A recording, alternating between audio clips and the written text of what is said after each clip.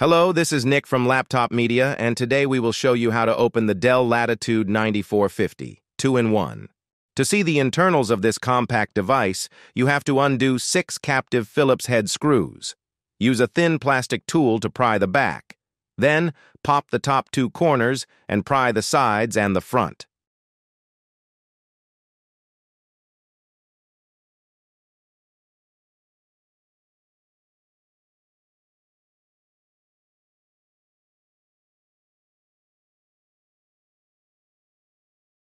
This machine relies on a 60 watt-hour battery.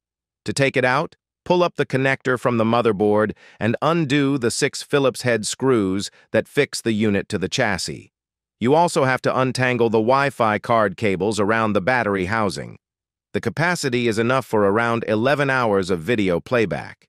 To achieve that, you have to apply the best power efficiency preset in the Windows Power and Battery menu and select the Optimized Power Plan in the Dell Optimizer app.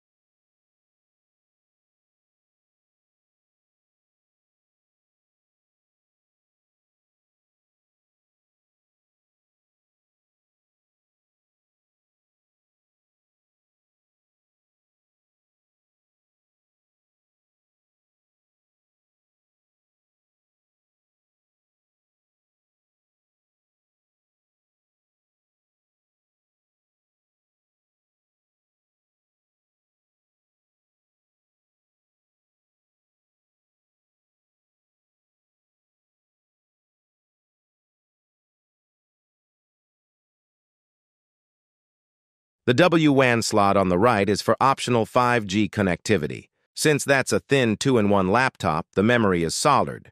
Still, the maximum possible amount of RAM is 64 gigabytes LPDDR5X, 7467 megahertz in dual-channel mode, which seems future-proof. For storage, you get just one M.2 slot compatible with the shortest 2230 Gen 4 NVMe drives, the SSD is protected by a metal cap that is held in place by a single screw.